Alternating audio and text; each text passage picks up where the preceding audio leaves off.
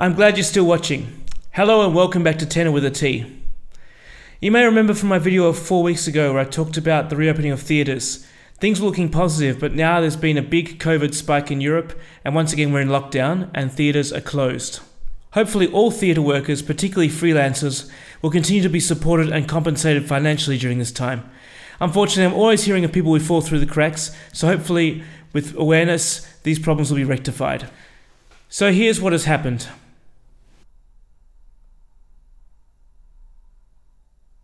Due to the high number of daily new COVID 19 cases, new restrictions were brought into place on Monday, the 2nd of November, lasting until at least the end of the month.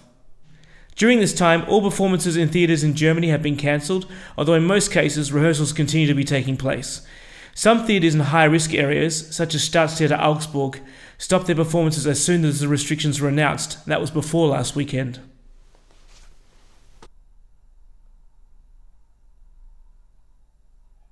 So, what else has been locked down?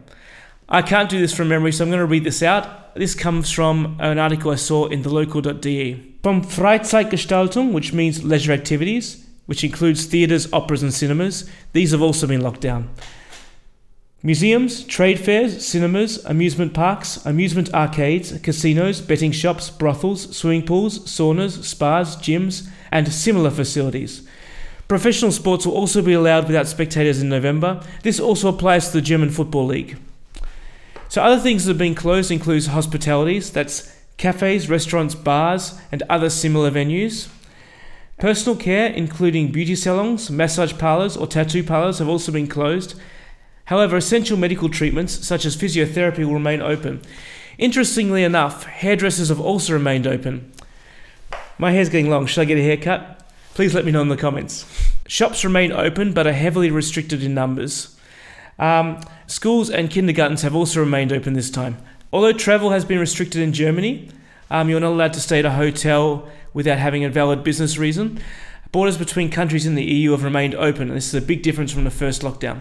Um, I actually have a story about this. It's not about me, it's about a friend of mine. This person uh, had a gig in Russia and they were en route from Paris to Vienna, and they got stuck in Vienna for a week because Vienna suddenly went into hard lockdown. And it was a hard lockdown, you weren't allowed to even leave your apartment without a good reason.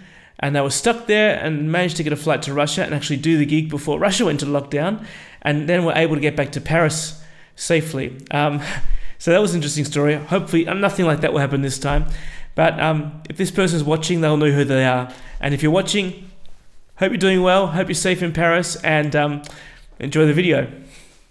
So I don't know what that means for auditions, but if you're allowed to travel for valid business reasons, that means theoretically auditions can take place. So if anyone knows about this, whether auditions are happening, please let me know and leave a message in the comments. Maybe other singers would like to know this information as well. But we'll see. I mean, theatres are still rehearsing, so theoretically, theatres could still be having auditions in this time.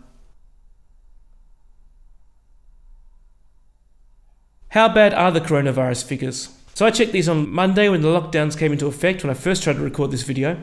So on the worst day during the first wave of COVID-19 on the 3rd of April 2020, there were 6,174 new cases of COVID-19 in Germany. That figure has been exceeded daily since the 15th of October and peaked on Saturday the 31st of October with 19,059 new cases. Now I'm going to check this right now on Google.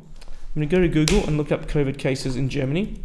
Okay, so during the week it went down a little bit after the lockdown started, but right now, as of today, there's 19,990 cases. So it's actually worse than it was on Saturday, the 31st of November last week, so it's getting worse again.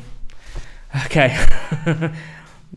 so Italy, France, England, Austria, and Switzerland, which are countries that I covered in my last video when I was talking about the opera houses that closed, um, they're having similar spikes. So it's not, it's not looking good all over Europe right now. But I know in Melbourne there's been zero new cases for quite a few days now, so that's good news from Melbourne. Hopefully it will stay that way. So to sum up, we are in a much worse state than we were in March. The Chancellor of Germany, Angela Merkel, stated in her press conference on Monday that there is an exponential growth in the spread of the virus. The number of new infections has doubled in the last week, while the number of intensive care patients, as well as number of patients on respirators, doubled in the last 10 days, and the rate continues to rise. So I'm going to quote the interview. Um, this is what she said in German, translated into English. Um, I use Google Translate for this. If it stays at this high rate, then we will reach the limits of our health system's capacity within weeks. We must act to avoid an acute national health emergency, and for that we have to take action. Angela Merkel acknowledged that entertainment and cultural industries such as theatres and cinemas, saying that the government understood their value and would financially support their losses as well. The source of that quote was from Deutsche Welle on the 2nd of November. What other lockdowns are happening in Europe? Of course, I'm an international singer. I'm interested in what's happening all over Europe, including USA and Australia, because I have friends and colleagues from all these theatres. So, what is happening right now? So, in Austria, the Wiener Staatsoper has closed. The city of Vienna is also under heavier restrictions than Germany, including a curfew between 8 pm and 6 am. Due to new restrictions in Switzerland, Opernhaus Zurich has also closed. La Scala opened in September but has been struggling the whole time. It announced its closure a couple of days ago after 18 singers and 9 musicians tested positive to the coronavirus. All other theatres in Italy have been closed as well. Covent Garden, the Metropolitan Opera, and the Sydney Opera House, of course, remain closed. Breaking news from Opera Australia.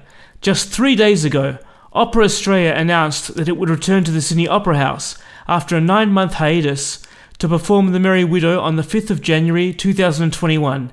It'll be a three month COVID safe season. So, finally, something positive.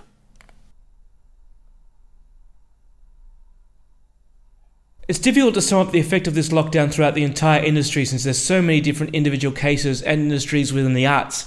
So I'm just going to talk about myself. How does the lockdown affect me and how do I feel about it? I had my last theatre performance in March. The first lockdown came into effect on Friday the 13th of March the premiere of A Streetcar Named Desire was cancelled on the 14th of March, and since then I've had no new performances. My contract ran out on the 31st of July. I managed to do one performance in an outdoor pub in August, but since then I've been offered no new work, no theatre performances, and no auditions.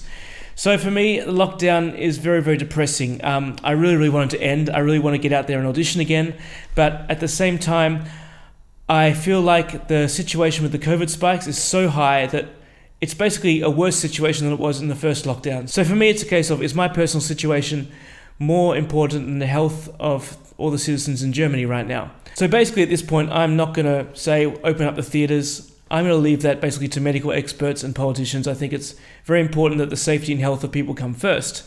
So if you want to help artists, make sure we're financially supported. If you hear of any artists falling through the cracks, help them out, help them uh, negotiate with the bureaucrats responsible for giving them the money and um, make sure you follow the rules first lockdown. The best advice I can give you is to paraphrase Angela Merkel. The health authorities are doing a great job, but when the number of infected people is too high, they cannot keep up. So, what can each and every one of us contribute to bringing numbers down again? A lot. Simply by keeping a minimum distance, wearing the right mouth and nose protection, and observing the rules of hygiene keeping a minimum distance. So don't come near me on the street. Wearing the right mouth and don't nose protection. breathe in my face, you and idiot. observing the rules of hygiene. Put your hands in the sink. Keeping the minimum so don't come near on the distance. street. Wearing the right mouth Don't and breathe nose in my protection. face, And observing the rules of your hands in the hygiene. Keeping the minimum come near me on the distance.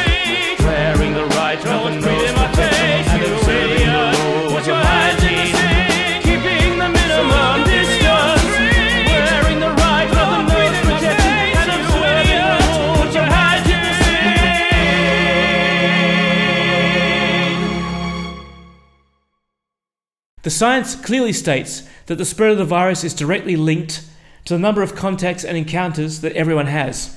If each of us now significantly reduces the number of encounters outside our own family for a while, we can succeed in stopping and reversing the trend towards more and more infections. Thank you, Angela Merkel. Don't leave theatres and artists without hope. Keep supporting our artists and theatres. And finally, I want to send a message to theatre artists who are protesting. Please remember to support all the artists and don't forget the ones who are not performing artists. Calls to shut down YouTube, Netflix, Spotify, and all these kind of things, including radio, are not going to help these artists who rely on these sources of income during the pandemic. So please remember to support everybody. Thank you very much for watching this video. Remember to support me, watch my channel, like and subscribe to my channel, and like this video. And hopefully, I see you again all soon with better news. But until then, I'll keep making videos, keep making music, and you'll hear more from me. Stay safe, stay healthy, and see you all again soon. Bye bye.